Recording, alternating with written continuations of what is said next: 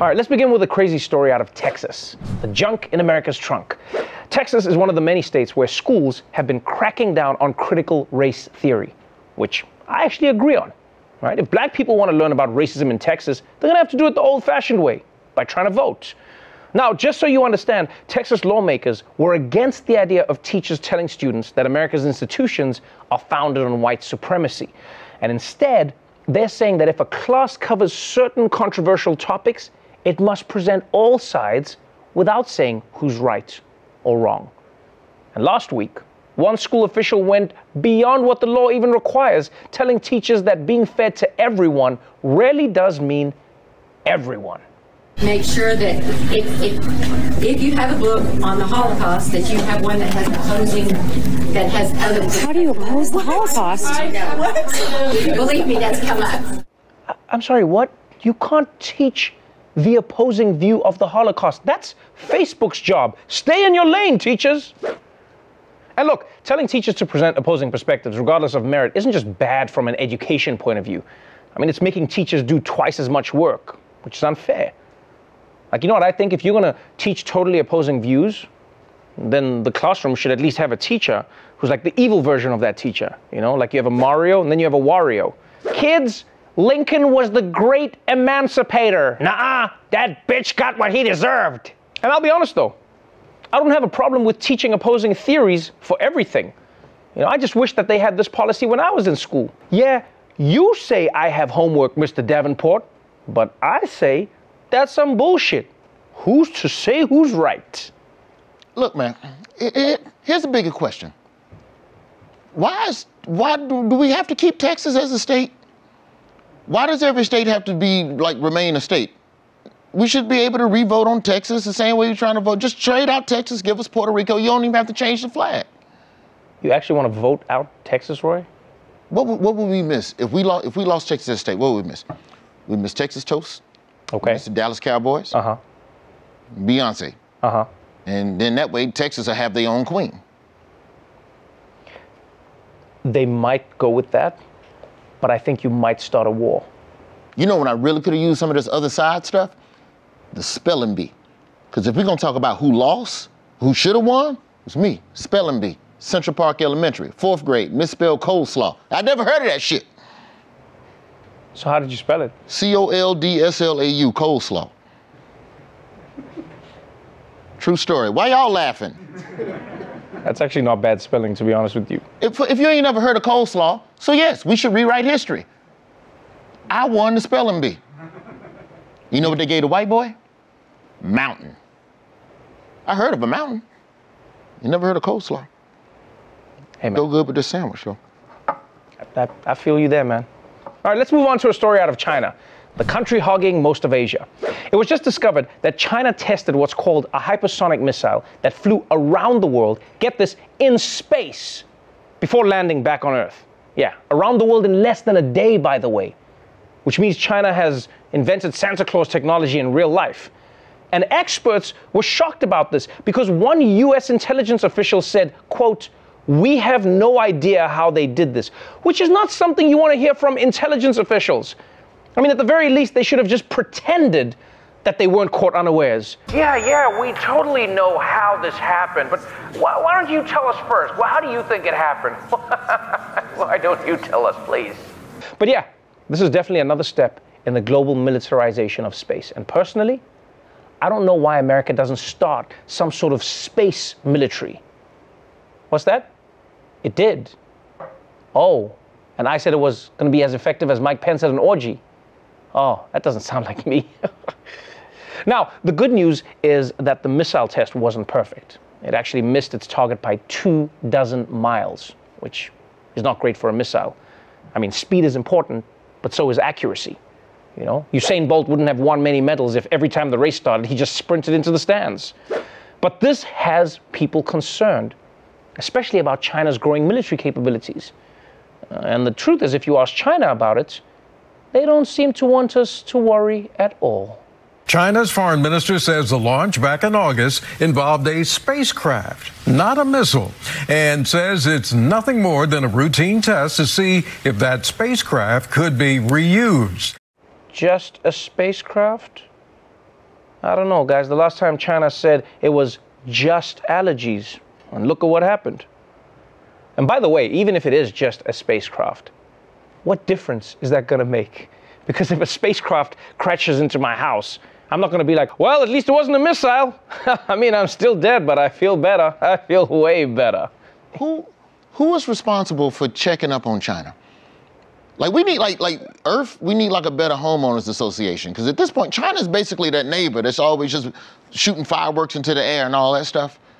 They're killing the game. Yeah, you can't you can't behave like that though. Somebody got to say, hey, I don't know if y'all noticed, but China is shooting the missiles again. Can someone say something to China, please? The other issue with this missile shit, you just can't be shoot. Why are you shooting missiles into space? What if it don't come back? And then the aliens think we busting at them. And you think when the aliens come back, they're gonna go, which one of you countries shot at us? No, everybody did. Because the crazy neighbor shot a bullet somewhere. You wanna shoot a bullet? You test a missile, shoot a missile into the ocean. That's where you shoot a missile. We know it's in the ocean. Godzilla, Mothra, and them two sharks that LL Cool J was fighting. So you know. All right, our final story is from New Zealand, aka Wakanda for white people. There is so much to love about the country. I mean, it's got natural beauty, it's got its ancient culture, and how its flag looks like it's on a Zoom call with Britain's flag. But what I love is how quirky New Zealand can be. For instance, for more than 20 years now, the city of Christchurch has had an official wizard. It's completely true. And this guy actually has been paid around 11,000 US dollars a year to be the official wizard of Christchurch. Which is a weird salary when you think about it, right? I mean, $11,000 is way too high for a guy who's not really a wizard, but it's also way too low for a real wizard. I mean, if a guy can turn me into a frog, he can name his price. But now, Christchurch is saying the wizard no longer fits the city's modern image and they're going to let him go. And this wizard is definitely not happy about this right now because he's had this job for so long. And as he's made clear a little while ago, he definitely deserves it. I'm the only wizard in the world that has any reason to be called a wizard. And that I'm trained at university, appointed by a vice chancellor, and since 1990 appointed by the government of New Zealand as an official wizard. So I'm a real wizard and not some idiot wearing a hat because he's a hippie and take too many drugs. Okay. Yo, ah. I, like, to be honest, I, I feel like this whole thing would be less weird if this guy was on drugs. I mean, I get that he doesn't want to be associated with people who drop too much acid, but at least they have an excuse. You know, and also I feel bad for the other wizard who's standing behind him the whole time. He's like, I'm not some burnt out loser moron like Doug here. How's it, Doug? Yeah, what a loser you are, yeah? A wizard? That bitch ain't a wizard. What do you mean he's not a wizard? If he was a wizard, his first spell would be a pay raise. I make eleven thousand. Eleven thousand. How you a wizard on food stamps? How you a wizard on food stamps? Broke ass wizard. Maybe wizards don't need much Just money. a broke broke ass wizard. You went to wizard school and now you got all them student loans. That's why Harry Potter had to make eight movies.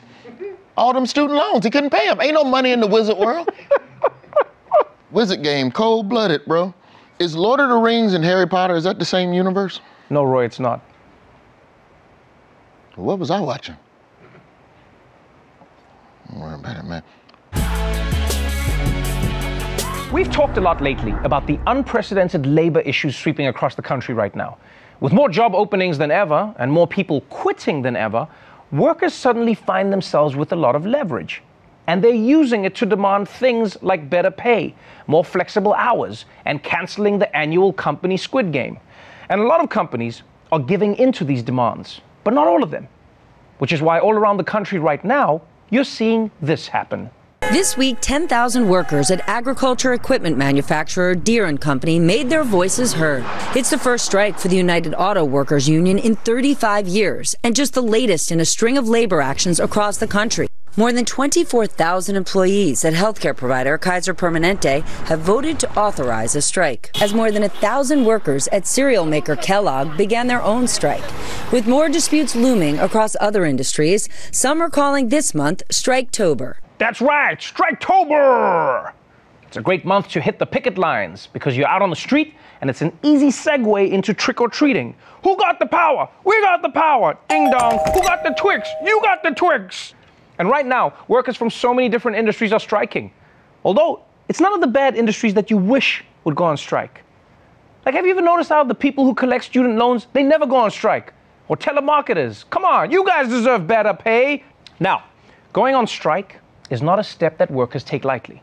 It's a major decision. You know, you risk your jobs, you lose out on pay, you have to protest in front of your workplace, but you can't go in to pee. Which means that when people do go on strike, they probably have pretty good reasons for doing it. Take an iconic American brand, John Deere.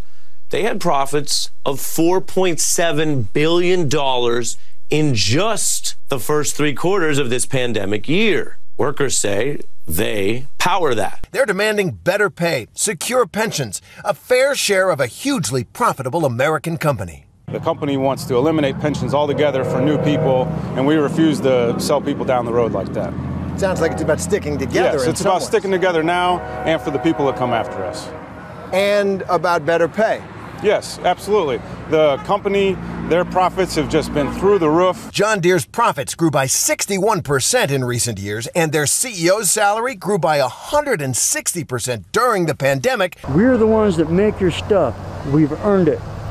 Give it to us. End of discussion.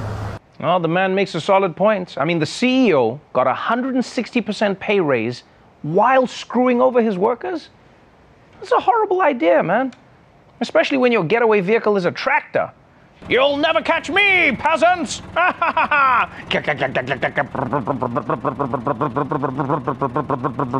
You're still here. but once I get into. Oh, this only has one gear. Maybe we should talk.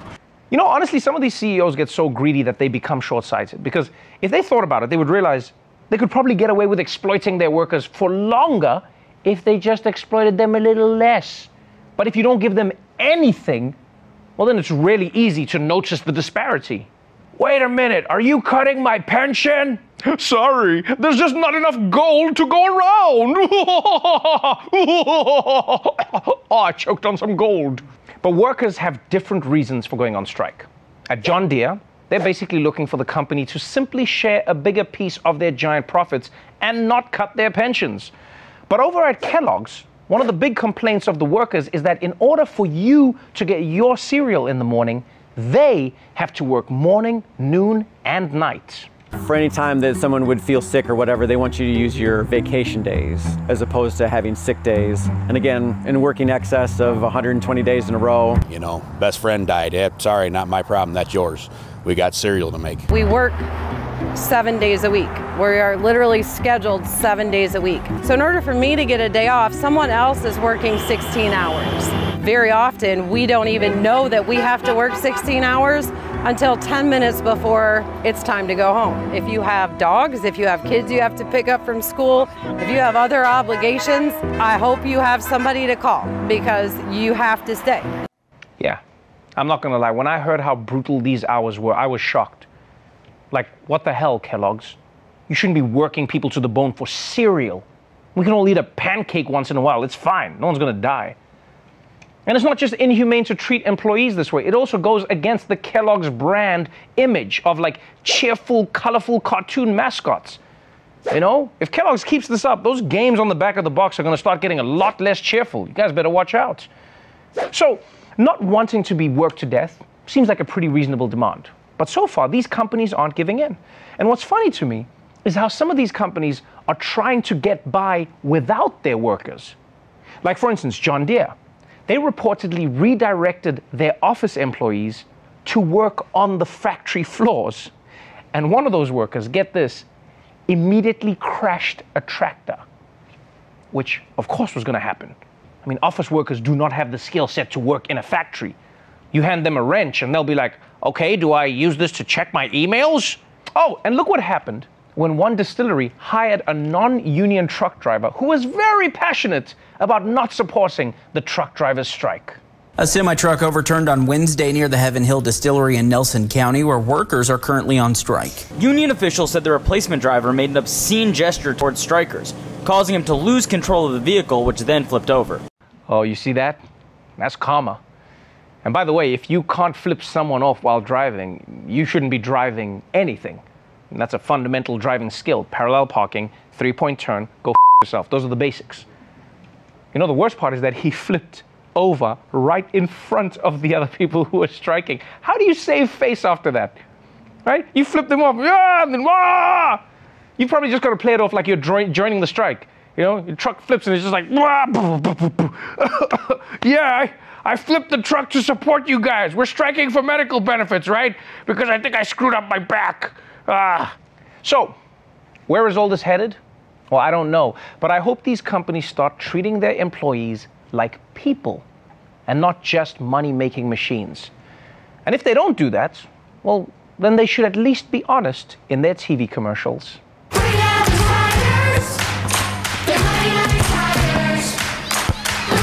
Frosted Flakes is the only cereal flavored with the tears of the people who made it. They're exploited. Seems right to me. Vaccine mandates. For the past few months, it's become the biggest fight in the country. I mean, aside from the Netflix CEO and everyone on Twitter. And mandates have been effective at convincing people to get the COVID vaccine, which is why everyone from the federal government to airlines to even Fox News is doing one. Yeah, that's a real thing. Fox News has a vaccine mandate, which is insane. You know, it's like seeing one of those Amish farm stands that accepts Apple Pay. Like, I'm happy, but I did not see that coming. And now, the former epicenter of the pandemic, New York City, is saying that all of its government workers need to get vaxxed, and they mean everybody. New this morning, New York City is now requiring all city employees to be vaccinated against COVID 19, no longer with any option for weekly testing instead. The new mandate covers more than 160,000 workers, including police officers and firefighters. We're asking our public servants and our first responders to do what they do best lead us forward, help us out of the COVID era. If they choose not to, they go on unpaid leave. So we're less than two weeks to that November 1st date. Right now, the NYPD says its vaccination rate is approximately 71%. Fire department says around 60% of their uniformed workforce have so far gotten the shot. It's a long way to go. That's right. Anyone who works for New York City will have to be vaccinated soon. Everyone from police and firefighters all the way to the guy who makes sure that the taxis are clean. And as of now, nearly a third of all cops aren't vaccinated. And maybe maybe they just don't know how to get vaccinated. I mean, I know it seems easy, but some cops don't even know how to turn on a body camera. So, but this is a little concerning because any police who don't get vaccinated can't go to work. And if there's a shortage of police, I mean, that could cause some big problems. I mean, protesters can't kick the shit out of themselves. Plus, who are the Karens gonna call when they feel scared? Hello, Geek Squad? There's a black man in the park, and what do you mean it's not your job? I want to speak to your manager. You get me the manager. Now, New York's police union has already announced that they'll be suing to stop this mandate from going into effect, which is no surprise because in every city that's announced a mandate, there's been a fierce resistance from cops and firefighters. There has been a wave of resignations and firings in fire and police departments across the country. Los Angeles Fire reports there have been at least 241 separations from the department. Baltimore's police department is down 279 officers. In Massachusetts, the state police union president is threatening that at least 150 state police will resign. Late yesterday, Seattle police officers and firefighters walked up City Hall steps to turn in their boots. Yeah, that's right. They're turning in their boots.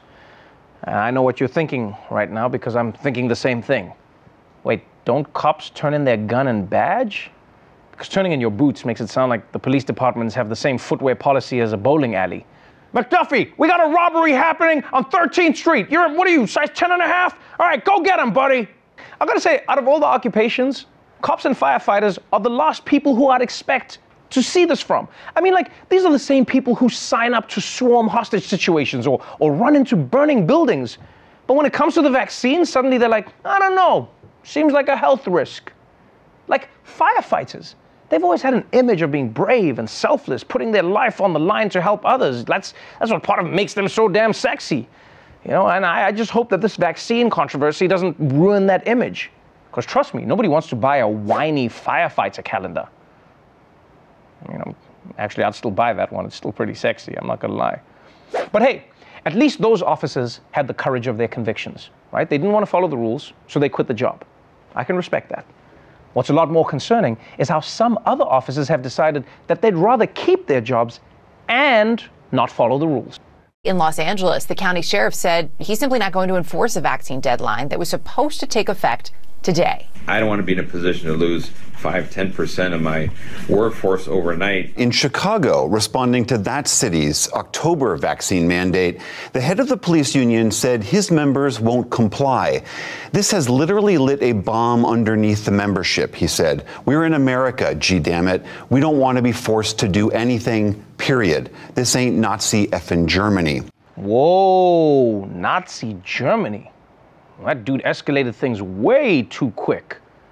I mean, although he is a Chicago police officer, so it makes sense, but, but come on, people, gee damn it. And by the way, I didn't realize that the LA sheriff could just decide not to comply with the vaccine mandate. That's crazy. Like, is that something we're allowed to do? Because, I mean, the next time I'm pulled over, I'm, I'm just going to say, sorry, officer, I have decided not to comply with the speed limits. What's that? I'm getting shot? Here's what I find the most strange about this story. For years, police departments have been telling us that nothing is more important than protecting the lives of cops on the street, right? It's why cities have been increasing their budget to buy military grade armor. And it's also why they can't take 30 seconds to determine if someone really is a threat before shooting them. But it turns out that there is literally nothing more dangerous to police officers right now than COVID 19. COVID, right now, as we speak, is the leading cause of death for law enforcement. In fact, since the start of the pandemic, it has killed more than five times the number of police that were killed by guns. So it turns out that if you do believe that Blue Lives Matter, one of the best ways to show your support is by getting the vaccine. Do you guys remember Donald Trump? Yeah? You guys remember him? No? No? Maybe maybe not? He was a reality TV guy, used to be president, tried to overthrow the government, still kind of is.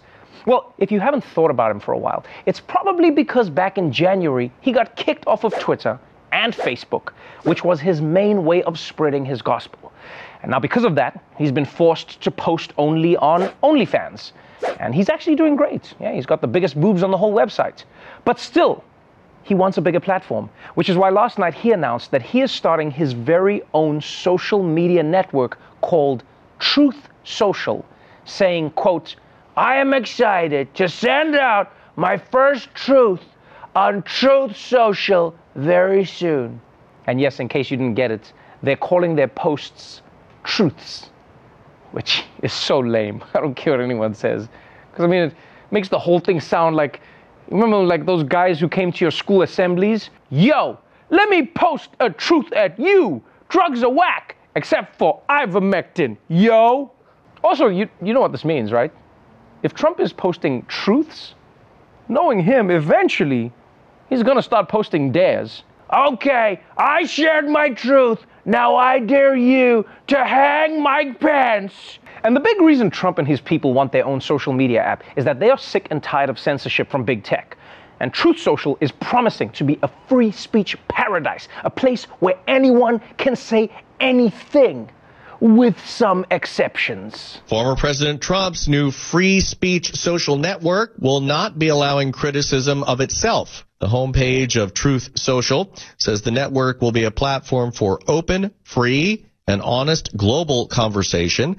The terms of service page, however, says users will not be allowed to disparage, tarnish, or otherwise harm the social media site. The Truth Social is expected to go live sometime next year. Yeah, this man is a legend. He creates a free speech website and immediately was like, okay, here's what you can't say. It's like if the first rule of Fight Club was, hey, hey, hey, no fighting, no fighting, no fighting. We work shit out here. And I'll be honest, like, I'm actually on Trump's side here. It's his website. He doesn't want people coming on there to roast it. Just like he wouldn't want people walking into his home like, who decorated this place? It looks like King Midas molested your apartment. At the same time, though, you know this is going to backfire because half of the fun of being on social media is talking shit about the platform.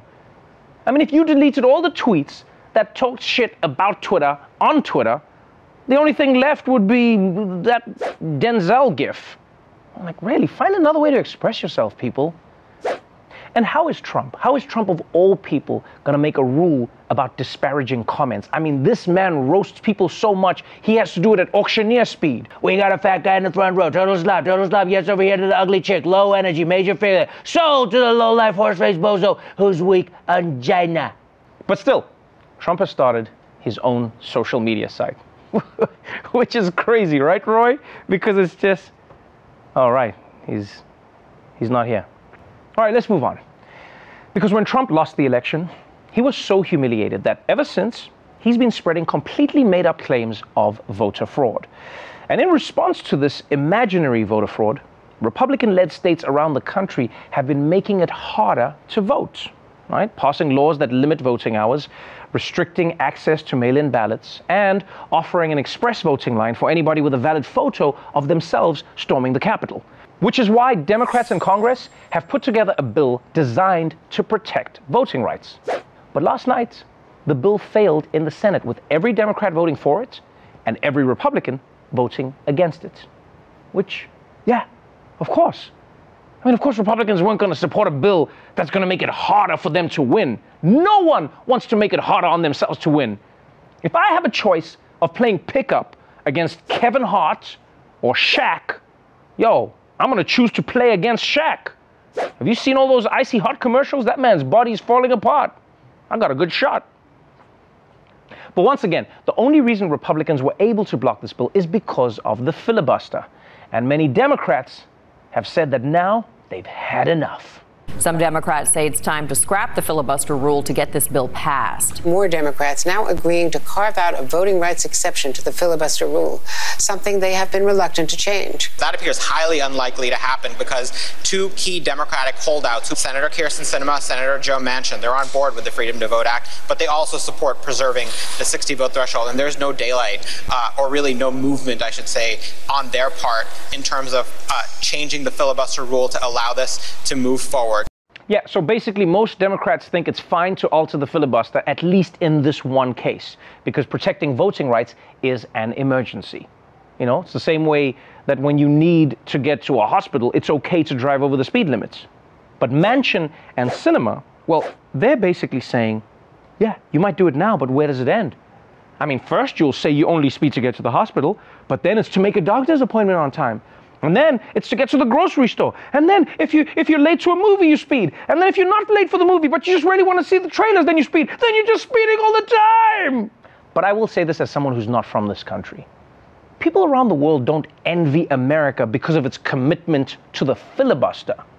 People envy America because of its long-standing commitment to stuffing things with cheese. Those are the principles Congress should be living up to. If you ask me, there's a compromise here. They should just treat exceptions to the filibuster like it's wishes from a genie. You only get three. The trick is to use your third filibuster exception to ask for more exceptions. What's that? Did you say something, empty table? yeah, you're right. The Democrats really can't get their act together, man. You said it, table. Oh, man. Uh, all right, and finally, Here's a story guaranteed to leave you yawning and half asleep, but like in a super interesting way. A new bus tour is designed to be boring and put people to sleep. The five hour ride on a double decker bus takes people around Hong Kong. It's meant to appeal to people who are easily lulled asleep by long rides. And it was inspired by the tendency of tired commuters to fall asleep on public transit. Tickets cost between 13 and $51, depending on whether they choose seats on the upper or lower deck. A goodie bag for passengers includes an eye mask and earplugs. Some even come prepared with their own pillows and blankets. That's right, a bus you just sleep on, which I actually think, on the whole, is a great idea. Because remember how nice it was when you were a little kid, when you could just drift off and fall asleep in the car? But now, as an adult, you can't do that because you'll hit a pedestrian or whatever. And look, yes, $51 seems pricey, but I do think it's actually a bargain. I mean, one ticket, and you get access to dozens of unguarded wallets. Those losers just sleep, you just go in and grab the shit. You don't do that with sleeping people? Oh. I will say, though, there are a couple of problems with this, okay? Um, first of all, I don't know if I trust this company because this is exactly how you get to Squid Game. Secondly, let's be honest. This is wasteful. I mean, sleeping was the one human activity left that didn't leave a carbon footprint, and now even that's ruined. Now, if getting knocked out on a bus excites you, but you can't get to Hong Kong, the good news is you can experience this right here. Yeah. What you do is you get on a Greyhound bus and you wait for someone to open the bathroom door, and you won't wake up for two days. hey, Table, do you hear what I said? I said if you want to get knocked out, you open the bathroom door on a Greyhound. What? What's that? I should set the studio on fire? Yeah, dude, it will be so funny. It will be so great. Oh, because it would burn.